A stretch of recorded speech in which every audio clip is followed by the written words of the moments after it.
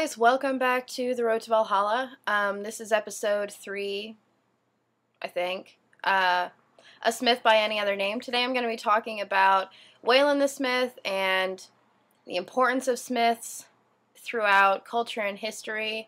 Um, yeah, so I guess I'll just get right into it. Uh, Wayland the Smith is the Old Norse um, mythological figure of like the master blacksmith.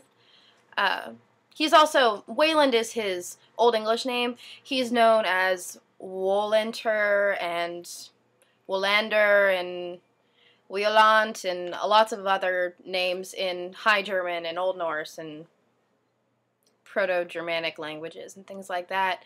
Um, so he's pretty popular. He shows up in a lot of cultures.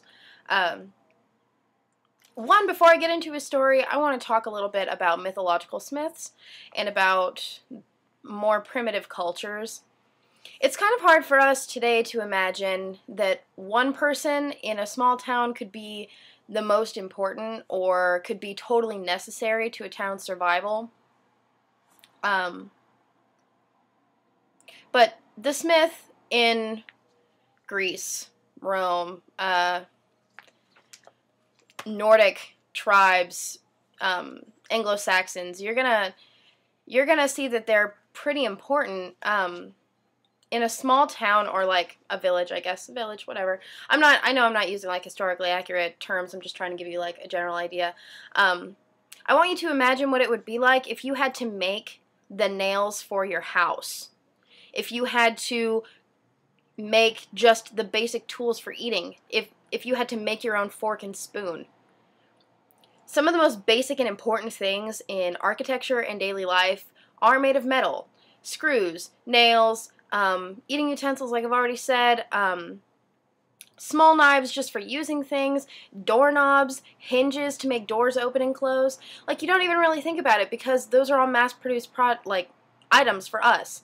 Um, but a smith would have made them by hand, one at a time. Well, maybe not one at a time. They could probably pound out a couple nails at a time, but I mean, can you imagine how hard it would be to exist if your town didn't have a blacksmith? So I just wanted like everyone to understand how important like the smith is to um, to some older societies. Uh, I don't think there's really an equivalent today. Like if you live in a small town, who would the most important person be? I mean, you could argue like the mailman, or I guess the postmaster of the post office, or maybe the mayor. But even then, I don't think so. Your survival or like your shelter and your food doesn't really depend on those people.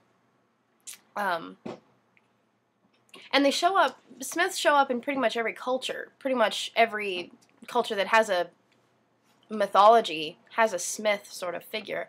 Um, Hephaestus, uh, or Vulcan, I guess, um, the uh, god of heat and fire, and the Smith, and yeah, You've pro- you're probably most familiar with him, but you've also got Tubal Cain. I don't know if I'm saying that right because it's the Bible, and I'm not really all that familiar with the Bible. But um, he shows up in the Book of Genesis as like the original Smith, I think, if if I'm getting that right. Um, there's one in Finnish mythology whose name I cannot pronounce. It's like my notes say it's like Seppo Ilmarinian? I don't know. Um, you've got it in the Celtic. Oh, Gofannon in um, Celtic mythologies, and you've got uh, Vishwakarma in the Hindu uh, Rig Veda. So it's not like Wayland is really particularly special, but because I'm sort of focusing on Anglo-Saxon and and Viking cultures, I'm going to be talking about him. The myth goes that Wayland had two brothers, and that the three of them lived with three Valkyries who were apparently their lovers or their wives or something. Um, and that at some point, or they lived in Valhalla, which is pretty awesome. I think they lived in Valhalla. No, I don't think that's right. I think I'm making that up. But um, the Valkyries, if you don't know who they are, are these like super hot badass chicks who hang out over battles, and they decide who lives and dies. So that's pretty cool. So Wayland and his brother Egil and Slagfdir, Fthir, Slagfdir, I don't know, are living with these women, and um, eventually they leave, and Wayland's Valkyrie lady leaves him a ring. Um, in another version, he actually marries a swan maiden, not a Valkyrie, and they have a son together. But in both versions, there is a ring, okay, a ring that's left by this woman, and um, it's pretty important to him. Later on in his life, he gets captured by um, King Nithod? Nithoth?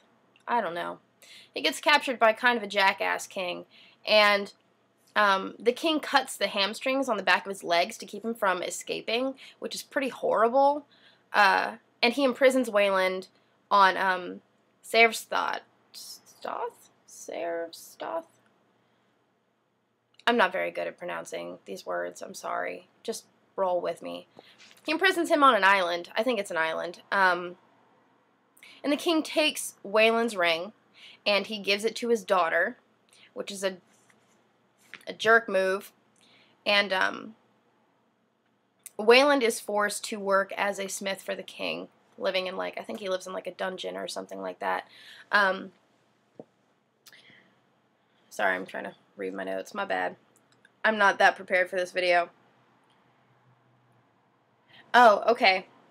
He um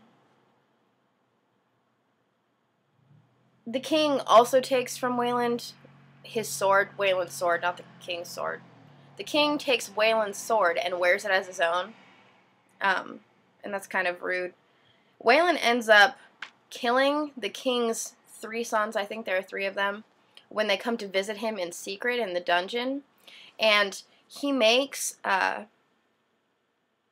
he makes like special presents, I guess you could call them, for the king and his wife and his daughter. Uh, he turned their skulls into goblets, which I think went to the king. Um, their eyes into jewels, which I think went to the queen, and their teeth into a brooch, which goes to um, the daughter. And I'm not sure if it occurs to the king and his royal family that these are made out of um, the prince's body parts. But yeah, so he does that, and that's kind of cool. Um, I don't know where the rest of my notes went.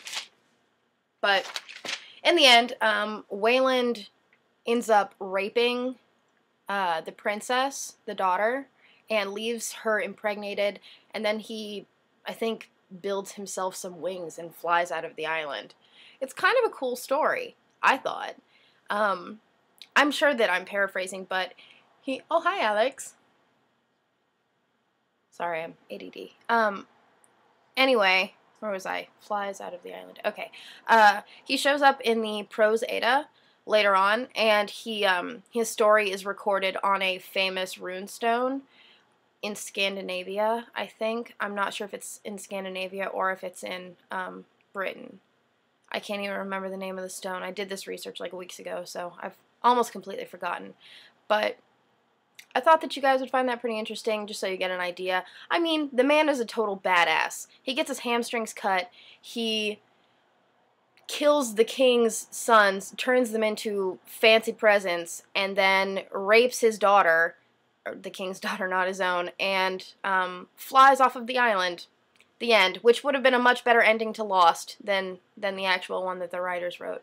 But yeah, so I think that's all I have to say for today. When I come back, I'm going to talk about the importance of swords and their relationships to the wearer. So thank you for watching.